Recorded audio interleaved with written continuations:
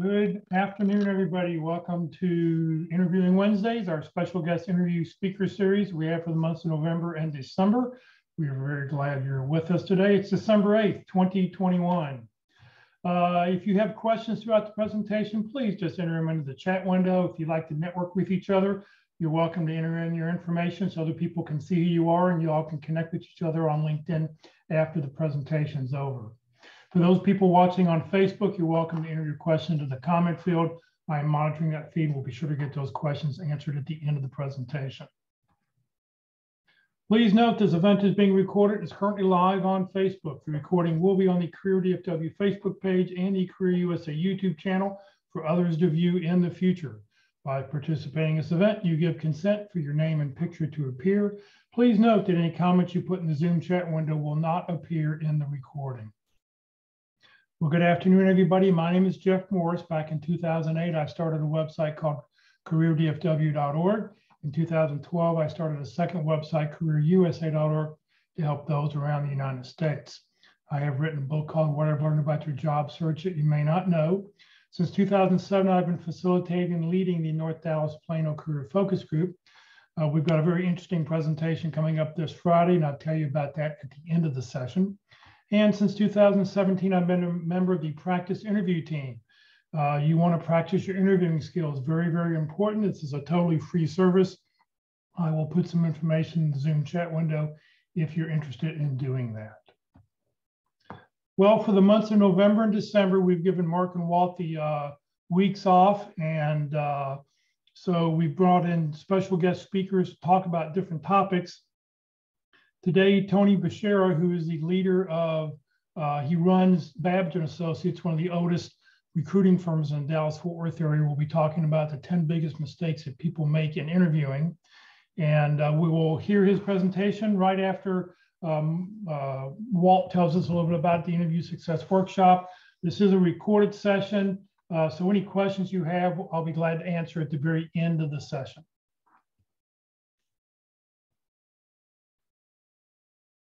Good morning or good afternoon, everyone, and, and welcome, Tony. Uh, for the rest of you, Tony is a member of the I Want to Help Job Seekers Club uh, and, and, also does it uh, free of charge. And you might want to pick up his book, Acing the Interview, which has a lot of aces of diamonds. Those diamonds are inside that book, a lot of things, a lot of questions, a lot of things to consider. Uh, you might want to pick that up. Anyway, what do I do? I like to help people with interviewing skills as well, but I do it a little differently. I do the fundamentals. it's like in basketball, if you can't dribble and you can't shoot, why play the game? So we need to learn how to dribble and shoot. Uh, in golf, you got to learn how to hit the ball. If you can't hit the ball, how are you going to do anything? Uh, you, you got to know how to uh, do the fundamentals of just about anything that you're involved in. And so you do the same thing in interviewing. So I like to try to teach the differentiation, how we can do that, how we can differentiate ourselves positively from those other candidates and how can we sell ourselves? Everybody pretty much understands that interview is a sales situation and that we're selling ourselves.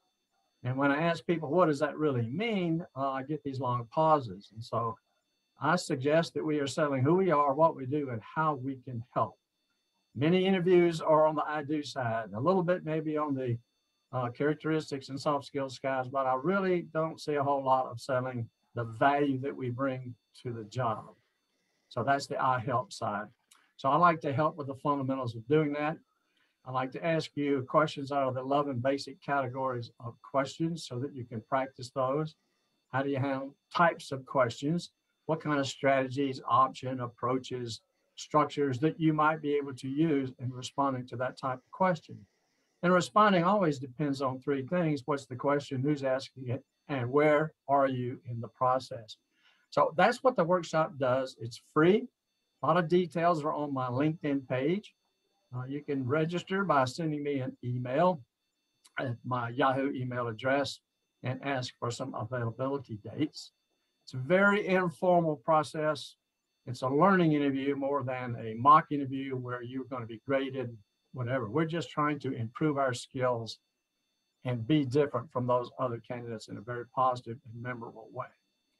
So send me an email. I'll be, I would love to put you on the registration and get your schedules so we can have a little bit of fun. And I call it learning without squirming. Uh, today, Tony Bashir is with us. Tony uh, owns and runs Babich and Associates, uh, an outstanding recruiting firm here in the Dallas-Fort Worth area. Um, I got my last job I had. I got through Babich and Associates. Uh, I, I really, you know, when you hear about certain uh, firms, it's like there's the good ones and there's ones you're not really sure of. If you can deal, if, if you can find something at, at uh, Babich and Associates, it's definitely worthwhile. So Tony's going to talk about the 10 biggest mistakes that uh, people make in interviewing. Tony, thank you for being with us. It's always a pleasure, Jeff. It's you're kind to do it, and and we really appreciate what you're doing for the community. Thank you very much. All right, um, we're going to briefly discuss the top ten mistakes that people make in an initial interview, and then we'll take any questions that you might have. Um, I've prepared this for a number of different venues, so we'll go through some of these really quickly. Um, there we go. I've been doing this since 1973. I've personally placed more than 11,000 candidates on a one-on-one basis. I've probably gotten more than 100,000 people interviews in that period of time. Uh, I've written four best-selling books on how to find a job. We have a 60-hour online program that we recently rewrote called the jobsearchsolution.com. I am the president of Babich and Associates. We are the oldest placement and recruitment firm in the state of Texas, probably in the Southwest. Um, we do everything that you can imagine except healthcare. We don't do any healthcare. We do banking, finance, accounting, sales, you name it, we do it. 99% of what we do is in the Dallas Fort Worth area, some Austin, some Houston. So the mistakes that people make in the interviewing process. These are simple mistakes and they're simple to deal with. The first biggest mistake is that they think that they they forget that an initial interview especially all interviews but especially the initial one is a selling situation. So many candidates come to me with the idea of they think it's a consumer product. They are looking to well what what do they want and how do they want it and who do they want it with instead of recognizing that what they need to do is be selling themselves and i tell people all the time you sell yourself until you get to the altar until then nothing matters and until you get a job offer nothing matters so the idea that i'm buying and i have to be concerned about what what they're look what I'm going to get out of the deal doesn't mean a darn thing until you sell yourself. If you give them enough good reasons of why they ought to hire you, they're going to give you plenty of good reasons of why you ought to go to work there. And if you have it in your head that you're selling, selling, selling all of the time, you won't have a problem. Uh, the second one is people have a tendency to think that this is a two-way street. I heard it this morning from a candidate. Well, you know, it's a two-way street it's not a two-way street. There's one of there's the hiring authority, and in this market, there's an average of 14 candidates that are all trying to get the same job you are. It is not a two-way street. It's a 14-way street. Until you get to the altar, it's not a two-way uh, two-way street. Now, once you get to the altar and you want to try to exchange nuptials and try to get together, then it becomes what can you do for me in the process. But until then, it's not a two-way street. If you give enough good reasons of why they ought to hire you, they're going to give you plenty of good reasons of why you go to ought to go to work there, and you can worry about that later. I had a candidate the other day, even after my coaching and my teaching. Sometimes I wonder what the heck. But he goes to an interview and he's halfway through the interview and he says, "By the way, what does it pay?" Yeah, he already knew what it paid because I told him, but he wanted to hear it. He said, Well, I just wanted to hear it from the. Uh, no, no, no. What what they can do for you questions, forget them. They're going to answer all of those once they once they have an idea that they want to hire you. Oops, I'll get this right in a minute. Okay, people have a tendency to focus on what they want in a job. Don't worry about what you want in a job. You got to focus on what the employer wants in the job. If you give an employer what he wants or she wants, then they're going to tell you what they can do for you. If you don't like what they can do for you, you don't have to take the job. We say it here all the time. You can't turn down an offer you don't have. Quit focusing on what you want. I get candidates all of the time and I ask them, what are you looking for in an opportunity? And my goodness, they'll have a litany of, of things that they want. But then when I ask them, well, what are you going to do for a, a prospective employer? Well, you know, I'm a good employee and well, well, and they hadn't thought of that. And that's the most important thing they ought to be thinking about, not what they want in a job, but what does the employer want in the job? And then the fourth mistake is they don't know what they're really selling. I can't tell you the number of candidates I've interviewed over the years where I say, okay, now what are you selling to a prospective employer? Well, I'm a good employee. I'm just a good employee. Well, how do you know you're a good employee? Well, everybody I've ever worked for said they really like me. Well, yeah, but what specifically are you going to be able to do for them that the other people they're going to interview can't? Well, I have to think about that. Yeah, you really do have to think about that. And you've got to come down to absolute specifics. And I tell people you've got, in fact, I told this to an employer yesterday. The hiring authority is so wrapped up in his process of interviewing, they're going through five different kinds of interviews, that the hiring authority is forgetting to look at the candidate's track record. And what the candidate has got to sell is I have been successful in my past. Here is where I have been successful. And therefore, I'm going to be successful for you. And the more specific that a candidate is about where his successes have been. In fact, I recommend the more numbers that you can associate with your success.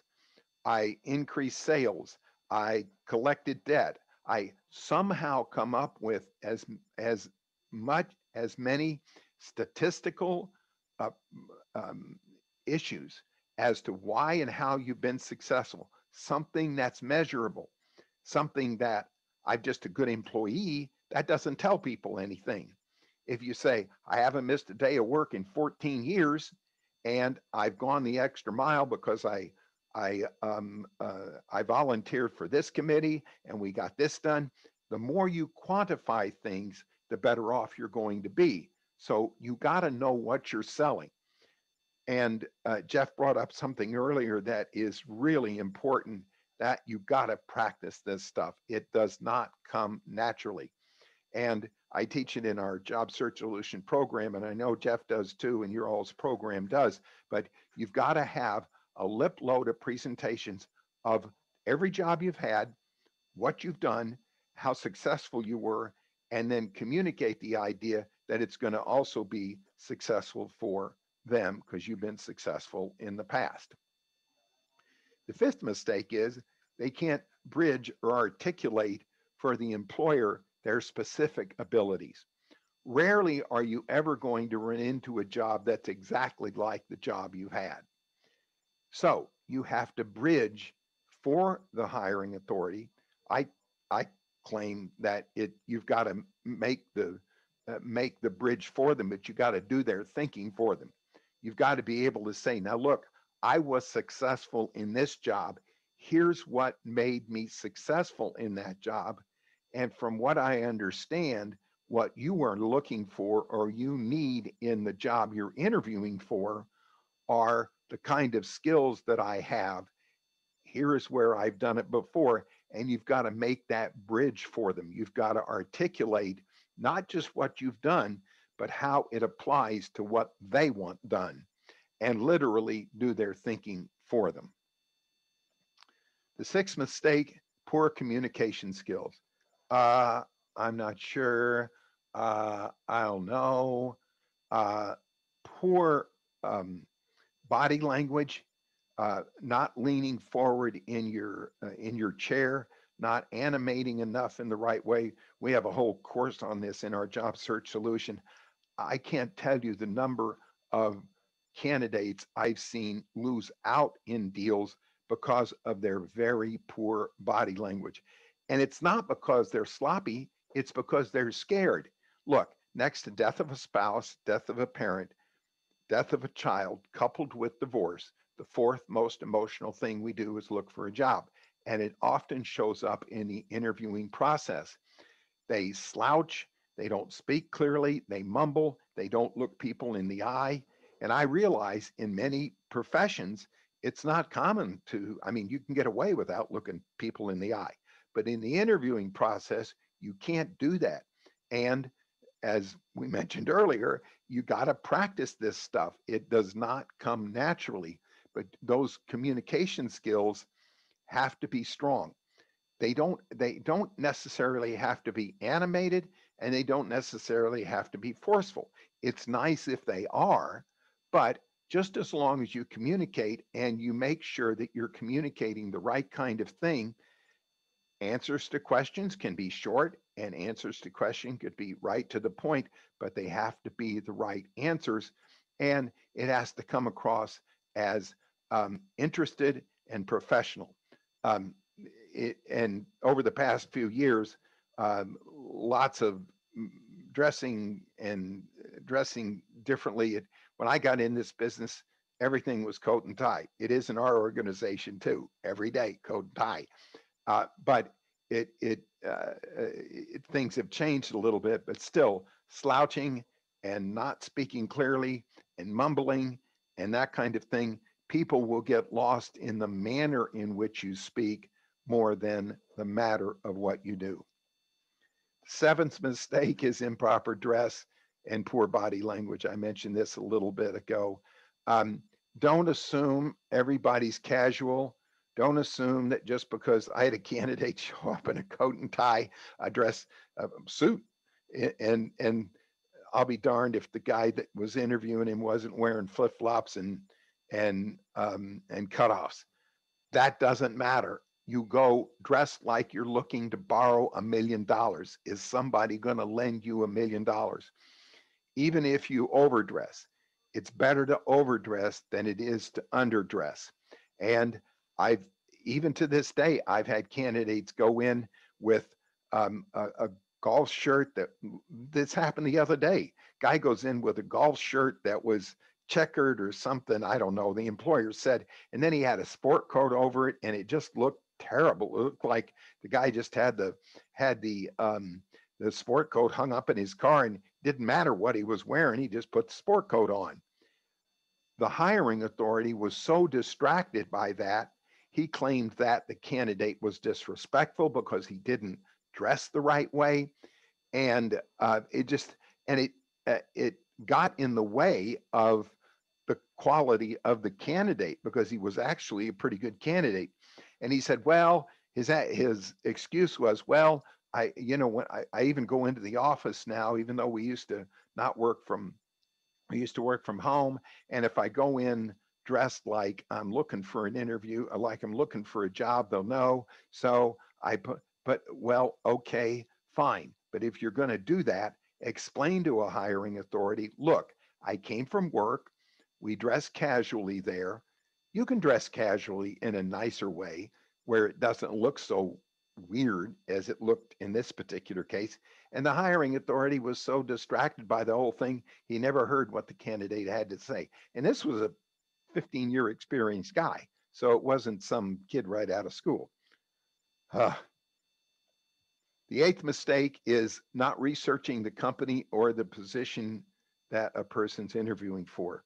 You would think, you would think with all of the information that we have available to us, LinkedIn, the internet, I mean, my goodness, there's more information out there than you can possibly imagine. I am shocked that even after I teach candidates or sell the idea of do your research on the company and the person you're interviewing and all of that, it's just amazing that people just show up and say, well, I just really haven't had time to go and look the research up, but tell me, what do you do here?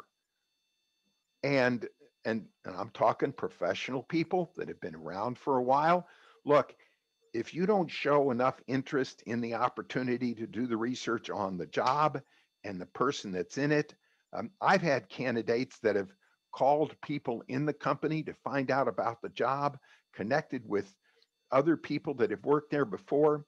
I had a candidate not too long ago. He had read some white papers uh, that the company published. He knew more about the white papers of what the pump the company had published than the guy that was doing the interviewing. And the guy that was doing the interviewing was pretty impressed by that. He said, I learned a lot about my company from your candidate. The guy did the research. It's not that hard to do. It doesn't take all that long, but you just don't look very interested in what you're applying for if you don't do that kind of thing. The ninth mistake is the inability to articulate what you'd like to see in a new job. Now, I'm not talking about money and benefits and parking and PTO and all of that. No, no, no. I'm talking about when somebody asks you, what are you looking for in a job?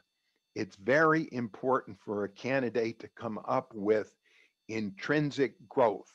I'm looking to grow intellectually, spiritually, intrinsically in an opportunity. I'd like to learn more. I'd like to be pressed a little bit.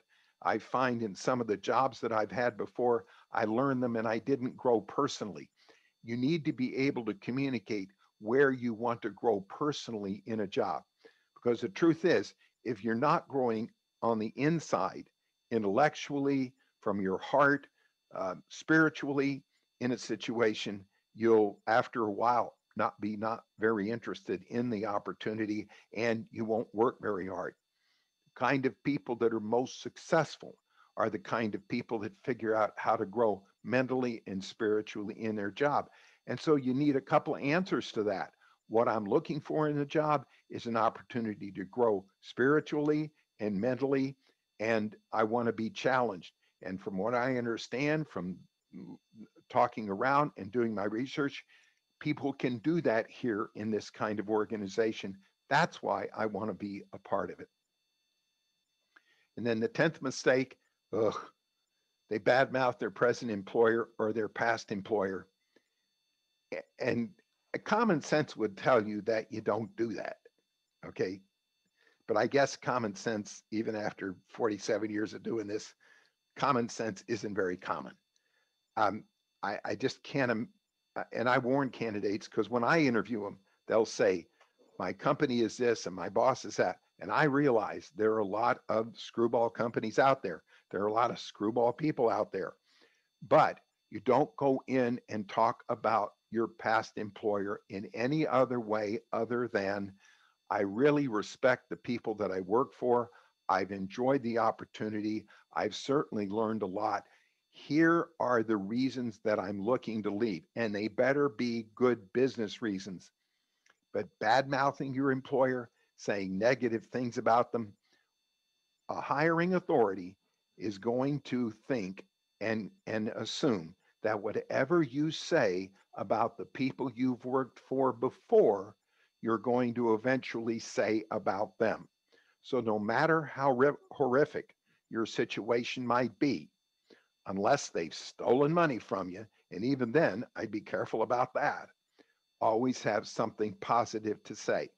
One of my associates here calls it a um, compliment sandwich. You say something positive about them, and then you give them a reason that is reasonable that you might be leaving for, and then another positive statement so that you couch whatever your reasons you are looking to leave in a positive way rather than a bad mouth way. And then there are also some things that you gotta, these are kind of minor. Discussing personal problems in an interview. Well, I'm looking to leave because I'm going through a terrible divorce or uh, I'm suing my last employer. I had a candidate just two weeks last week. He was the interview was going so well, and he said to the hiring authority, "Well, I had to sue my last employer for the money that they owed me." Ah, end of interview. What do you think an employer is going to think about that? And this guy, he, he, he, what's so funny about it is he threatened to sue him. He never really did sue him. He's still at the same place that he was this was, he threatened him a, a year earlier. But do you think an employer wants to hear something like that? They don't. Being late for an interview, if you're in the Dallas Fort Worth area, you got to know that wherever you're going to drive to, you got to get there a half hour earlier because we don't build up, we build out. And this is flat. And LBJ is crazy. The toll road is crazy. Every place you drive to is crazy. You got to be there early. And and I even have candidates that drive to the place the night before just to be sure that they can get there. And don't necessarily rely on Google Maps. It can take you the wrong place and then you're late. And then of course, once you're late, not apologizing for being late. I I bet this happens even with my candidates, and I deal with professional salespeople, semi-professional salespeople, and that, that will will they'll show up late and they won't apologize. I mean, you wouldn't do that anywhere. And now, don't go overboard. If you go in and go, oh my God, I'm late. I'm so sorry, I'm late, and all you do is talk about being late, you'll go overboard with it. But apologize for being late. Um, not closing the interview properly. We've talked about this on this program before, but there are four basic questions you have to ask in every interview. They are, first of all, have I made it very clear what my experience and my background is? Does anybody have any questions about what I've done and where I've done it? There, lots of people will act like they know what you're talking about in an interviewing situation, but they don't understand. They don't want to appear ignorant, so they'll act like they understand. You'll walk out of the door and then they'll go, you know, I didn't really understand what the guy was talking about. So you ask, are there any clarifications I need to make about my experience or my background? Secondly, how does my experience and background stack up with what you're looking for? If I'm in your shoes, do I what strengths and what weaknesses might I have?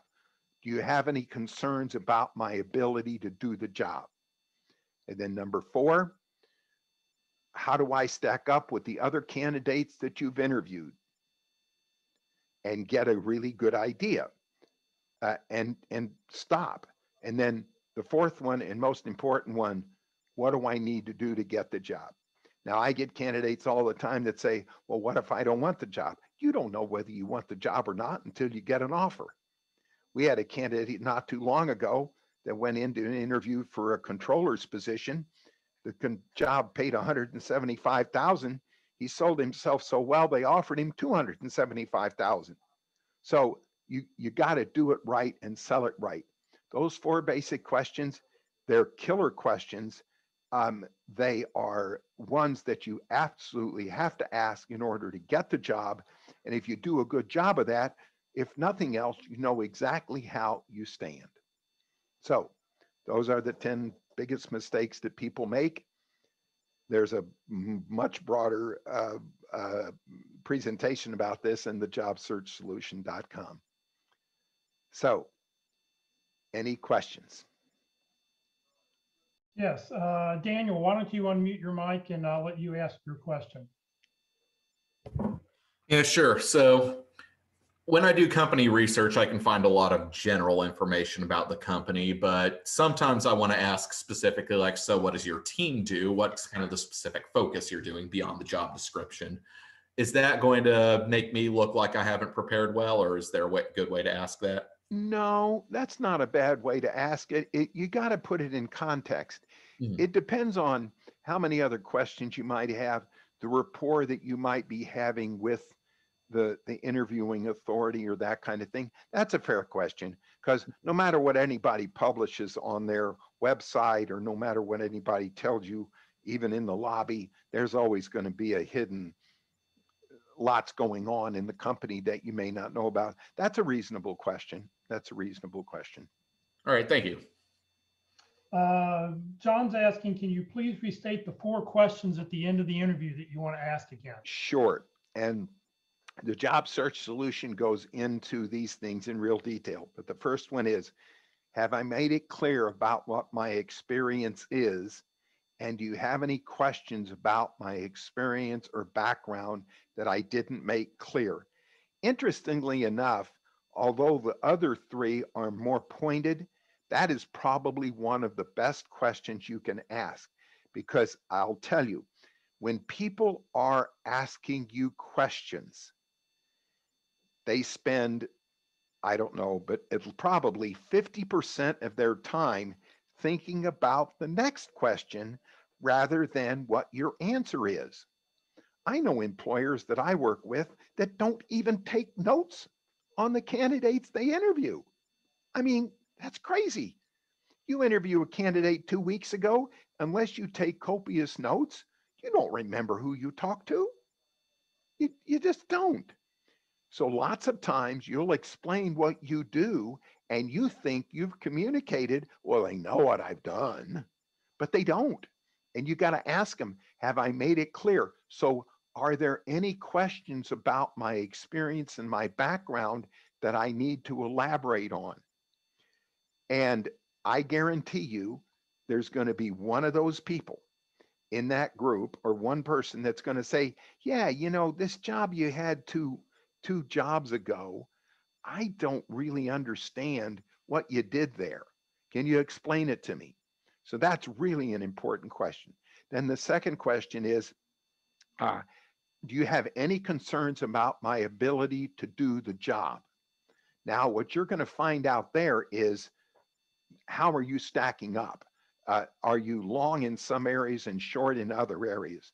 Do you have, um, do they have any concerns? I had a candidate this morning. The, um, uh, she asked that question and it was a, a Zoom interview and the group that she asked with, one of them said, well, it doesn't appear in your background. I place primarily IT salespeople. It doesn't appear anywhere in your background where you've done uh, financial application demos. And she said, Oh, yes, I have. Well, part of their job is as a salesperson in this company is be able is to be able to do uh, WebEx um, uh, demos.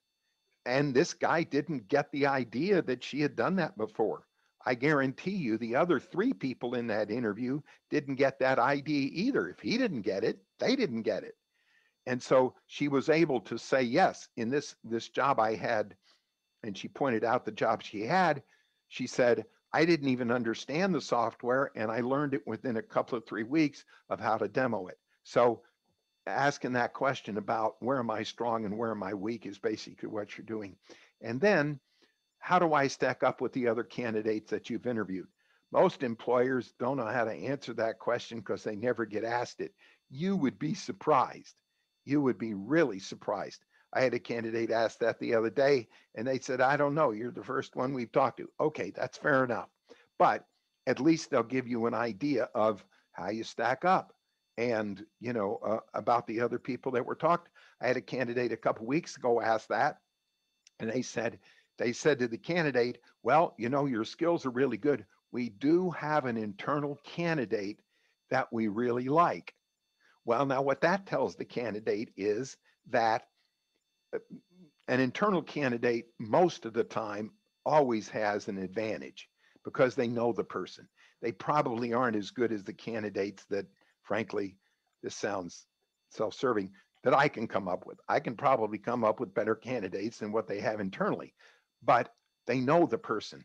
So my candidate knew then that he was up against an internal candidate that was, he was going to have a hard time fighting that battle. And then the last one, and just real blunt, what do I need to do to get the job? And you'll be shocked at the number of people that you ask that of that they just start laughing and they go, man, that's a good question. Nobody seems to ask that question.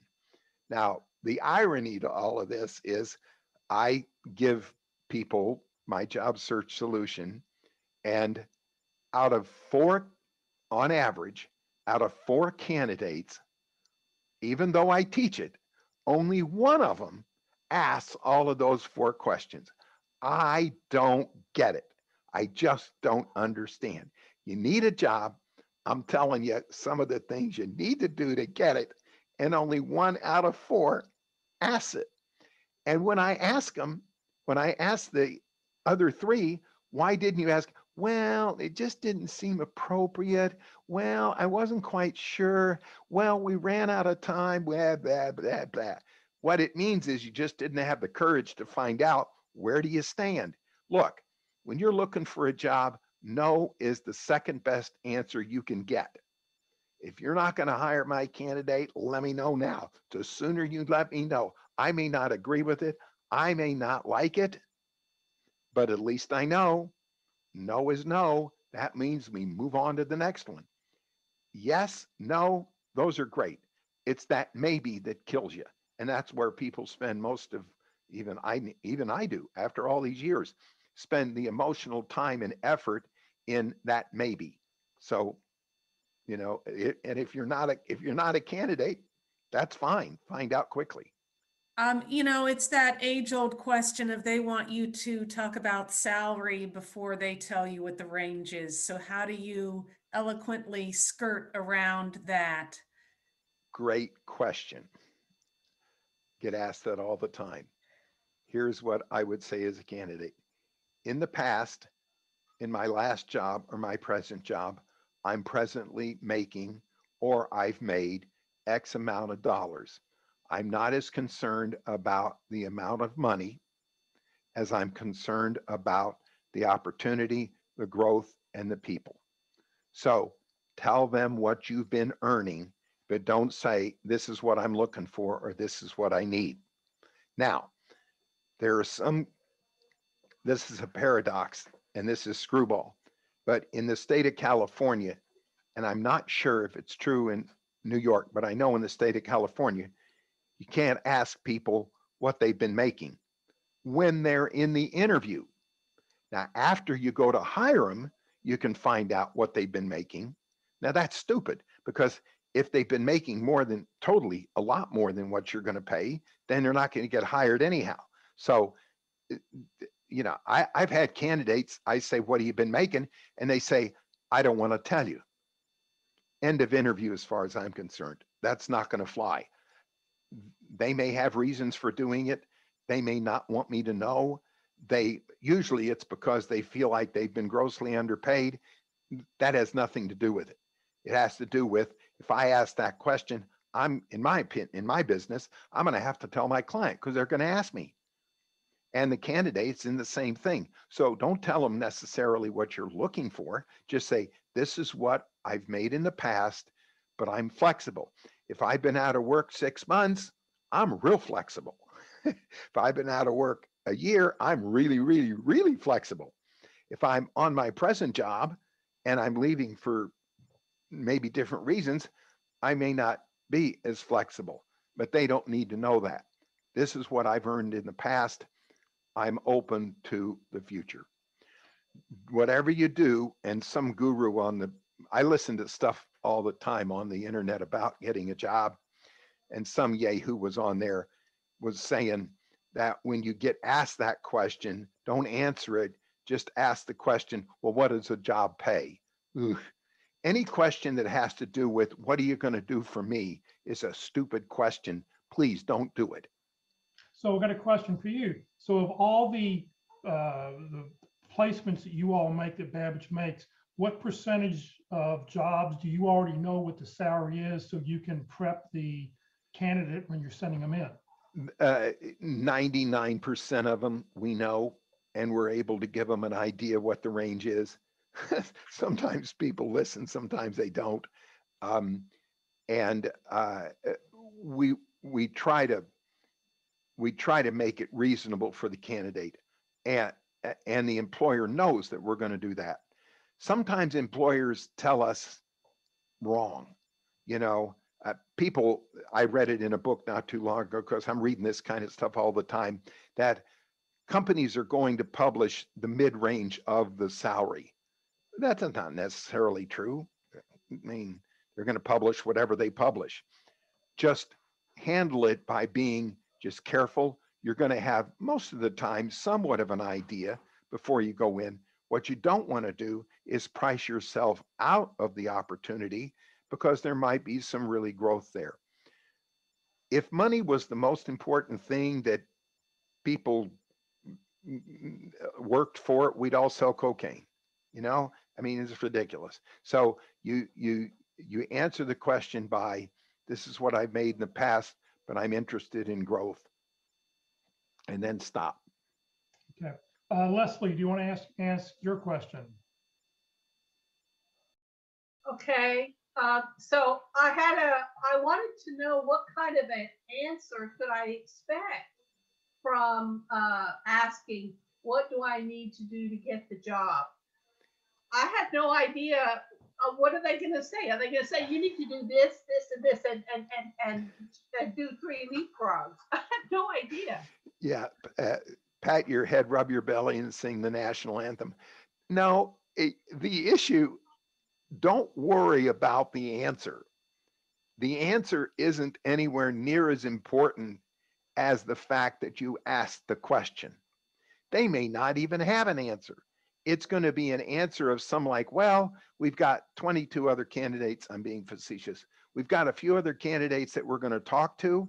We feel like that you have uh, provided us all the information that we that we need, but we appreciate your asking. And then you can even come back. Is there anything else I can do to enhance my position? The fact that you had the guts to ask it and that you're willing to say, you're going to hire me or not, puts you in a light that is more courageous than most candidates. Most people are afraid somebody's going to say, nah, you're not going to get hired here anyhow. Well, okay, fine. You know, I mean, it- you're going to get 14 to 15 no's before you get a yes anyhow. Just a- a- another little story in the uh, pit crew, we had a candidate once who during, and he came back and told us that after the interview or during the interview at the very end, he said, you know, I saw that empty desk out there. Would that, would that be my desk? And the guy sort of like chuckled from it. And actually he did get the job because he took it to the next step. I had a candidate one time that interviewed with the CEO. It's now a billion dollar company. And the CEO said it was not that big at the time. We'll let you know. And he, he one Monday morning, he showed up, went to one of the empty desks, um, opened up his briefcase, set his whole desk up. The CEO walks in and says, Who's that guy? And the admin told him, he said, She said, He's your new hire. He said, Oh, okay, I guess so. Guy was there 15 years. he never really got offered the job. He took the job. Now, that's pretty gutsy, but you know, he made their decision for him. He wound up being a really good good guy for the company. It takes guts. I don't know that I'd recommend that, but I mean, what's the worst? They throw you out? I mean, you know, so what? Right. Uh, I had a question about next steps, uh, interview closing questions. Do you have any recommendation about how to ask those? Sure. If, depending on the answer you get from what do I need to do to get the job, I have some candidates that soften that by say, what's the next step? I don't like that. Because what they say is, well, the next step is we're going to have people back and uh, we're going to do this and that and the other thing. Well, okay, then, then you might ask, how do I be certain that I'm going to be one of those? Okay. And, and look, you might as well be aggressive. Most candidates aren't. And they, and they call me back and they say, well, they told me that the next steps are they're having people back next Tuesday. Well, are you going to be one of them? Well, I don't know. Well, you know, know where you stand. And, you know, what do I need to do to get the job? What are the other steps in the process? And I'm, and am I going to be in and you can say it nicely with a smile on your face. Am I going to be in that group that comes back to speak with you all?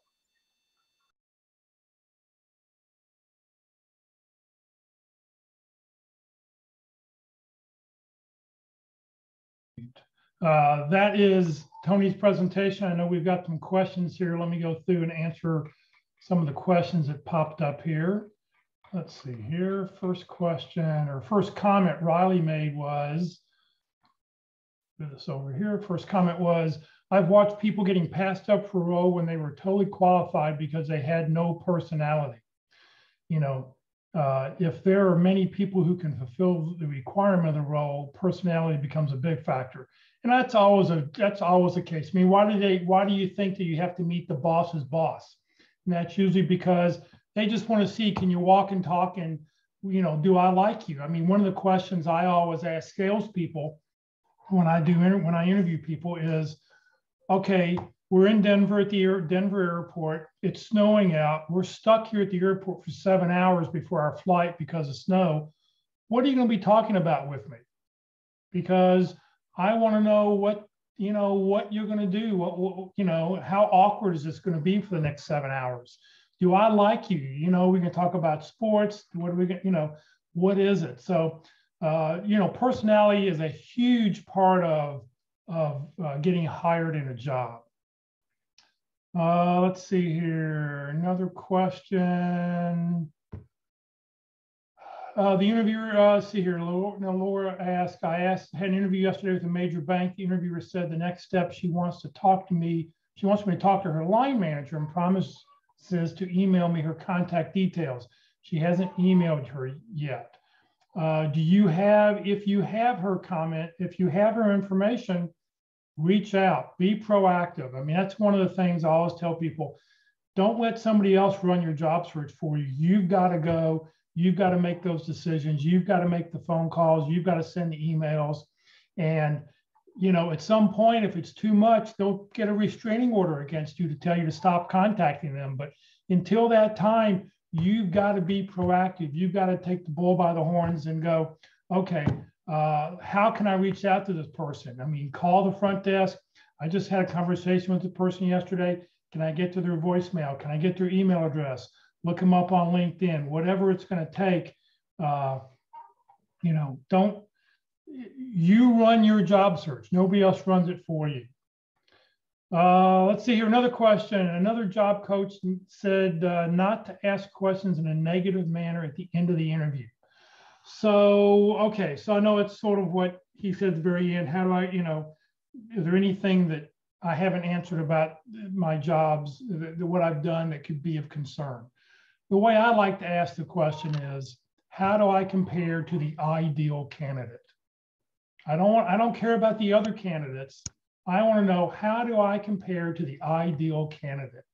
You know, what is it you're looking for? What is, you know, you we've talked for a half hour, we've talked for an hour you know, you've got to know me. Is there anything that I don't, you know, I'm not your ideal candidate? I, I think that's always a really good question to ask. Uh, let's see here. Um, you asked what was the fourth question, and Riley answered that. I've made it clear that what I've done and where I've done it at. So just making it up to everybody. Uh, how do you like? Uh, how do you handle niche jobs? So if you want to unmute your mic and tell me what niche jobs are, tell me what you're what you're talking about. You see, I'm in the scientific field, pharmaceutical and dietary supplements. Okay. So some of the points the career coach gave, like be aggressive and and the salary requirements be upfront it can go, go both ways when you're looking for a job. So. All right. So yeah. All right. So I have a better understanding now. So you have to remember that uh, Tony talks from the point of being a salesperson. That's what he is. You know, he's placing uh, technical salespeople, business salespeople. That that's his primary role. So in sales, you have to be very proactive and not afraid to really say anything and go after stuff. I understand in a uh, research in a university kind of situation, you're uh-huh. really restricted to you got to play by their rules because you know that's what they want. They they don't want to see your two page resume. They want to see your 10 page resume. They want to know everything you've ever done. So you know you just adapt by these things. But I don't think it's wrong to you know some of his closing questions about you know how do I compare to the ideal candidate. You know, is there anything that I haven't that we've that we haven't talked about that you know you've got a concern that's in my resume. I mean, it's nice to get those things out of the way. Uh, I think people will appreciate it being upfront. And I think it's okay to be a little proactive. You know, what do I need you to do to get the job? If that's what you really want, if you really want the job, I think you need to ask for it. So, you know, in what you've been doing, I understand you may not want to be quite as uh, outgoing, but it Mhm. will set you apart if you're a little bit more outgoing than other people. I mean, you know, I, I go back to how can you, uh, how, here's a joke. How can you tell an outgoing engineer? Well, an outgoing engineer will look at your shoes instead of their shoes. You know, so they're looking up, you know, so make sure you look at somebody. You've got to build that rapport. Um, let's see here. Da, da, da. Have I answered everybody? Oh, you don't have their information only on LinkedIn. Yeah, reach out to them on LinkedIn. Call up the front off, call up the front, you know, you know the name of the bank, call them say, I had a conversation with this person yesterday. Can I get to their voicemail? And leave the person a voicemail. You know, it's not a, nothing wrong with doing that. Any other questions we can ask, uh, answer for anybody? You know, Tony, Tony tells it the way it is. He's been doing this for, what do you say, 37 years, 47 years. And, you know, he has seen hundreds and hundreds of people talk about, you know, and, and get people hired. You know, like I said, I got my last job through there. The reason I got my job through them is because I had built a rapport with the recruiter and he knew that I was a good interviewer and that he could send me out and I would do well during an interview. Some of the jobs I wasn't interested in, but he sent me anyway because he says, You're going to make my other candidates look good. And I was okay doing that. And, you know, but then the job came up that I was the ideal candidate for. And, you know, boom, boom, it was done within a week. I was working the following Monday. So, uh, I don't know, Babich and Associates, great organization. So uh, that's everybody's questions. I really appreciate it, everybody being here. Uh, let me share a couple closing slides and uh, we will finish up today. Uh, Career DFW and Career USA, we're putting on training four days a week. Hopefully you will join us again. Uh, to, whoops, let's see here. Tomorrow, uh, we have a great presentation. Mike Perry, uh, I saw his presentation several months ago. He's from the Ohio, Northern Ohio area around Cleveland. Uh, he talks to a lot of job clubs up there. And his presentation is how to make a networking strategy that works. It's a very good presentation. Uh, you'll really, you will get some real good basics out of it. So please join us tomorrow at one o'clock. It's the second, we do networking on the second and fourth Thursdays. This Friday at the North Dallas Plano Career Focus Group, Mike Chapman will be with us. Mike is a uh, insurance consultant. I mean, he has been helping the unemployed for 10 or 15 years now dealing with insurance. COBRA is not necessarily the best way to deal with it, uh, but he can talk about other Medicare, other medical insurance options and updates and common pitfalls to avoid. So it'll be a very interesting presentation. Please join us this Friday morning at 9.30. Next uh, Wednesday, our speaker, our final speaker for the year will be Jack Bick. He'll be talking about clarity when you need it most about interviewing. Uh, so that will round out our speaker series for the uh, for the two months. And then I'm hoping in January, our plan, very interesting idea here. Our plan in January is to actually show real interviews. So if you'd like to practice your interviewing skills, we're actually going to do it live at one o'clock, uh, or we'll hopefully play back some people's recordings who's, who've allowed us to play the recording back but uh, you'll actually get to see a real interview being performed through the practice interview team. Um, so, you know, if you'd like to participate, if you'd like to be interviewed, uh, we'd love to be able to have you do it starting in January. Uh, we'll sort of see how this goes. So uh, it's, it's a really interesting process. Uh, they've been doing it, like I said, for the last year and a half closed and only the three interviewers and the uh, interviewee have been together. So we, you know, I'm really encouraged about opening this up and we're going to need volunteers. We're going to need you to volunteer to want to do it. So if you're interested, we need a job description, an email, uh, your resume, and then let us know that you're willing to do it Wednesday at one o'clock and just send that email to dallaspitcrew at gmail.com. Remember, when we were meeting in person, you didn't have a choice. You had spectators who were watching you being interviewed back when we were meeting in person. So this is sort of the same thing. You're not going to see them on the screen. You're only going to see the four people who are participating in the interview. Everybody else will have their cameras and mics turned off. So it'll be a, hopefully a very interesting process, but we need people to volunteer to want to do it. Uh, this session has been recorded. It will be on the Career DFW Facebook page and the Career USA YouTube channel. Uh, on the oh uh, on the Career USA YouTube channel, if you'd like to see any of the 13 sessions that Mark and Walt put together about interviewing, this is about 20 hours of material. If you're able to go through and make it all, the first five sessions here are all about preparing for an interview. The second five sessions are all about what to do during the interview.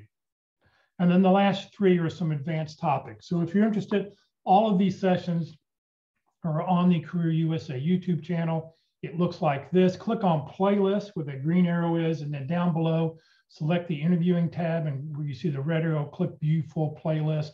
And then up will come a list of all the different titles and topics in chronological order and you can go back and find whichever one you'd like to go and uh, get more details on, or you can start at the beginning of lesson one and work your way through. If you're not receiving emails about our workshops and you'd like to join the Career USA mailing list, please do so. Send an email to Career USA, the plus sign subscribe at groups.io. Uh, you will never be spammed, but what you will get is the topic of the day, the title of the day, and most importantly, the Zoom link of the day. That way you can just open the email up and you'll be able to uh, find the email. You'll be able to find the Zoom link so you can just join us when we get started. So please remember, Career DFW, we're a 501c3 nonprofit organization. All of our speakers, I'm a volunteer. All of our speakers are volunteers. I haven't been paid to do any of this over the last 13 years. This is what I do to give back to the community and help you in your job search. So please, please uh, can consider making a donation when you land your next opportunity. So thank you very much for joining us today. Hopefully we'll see you later in the week. Uh, everybody have a great uh, Wednesday afternoon. Thanks, Jeff. Thank you. Thank you.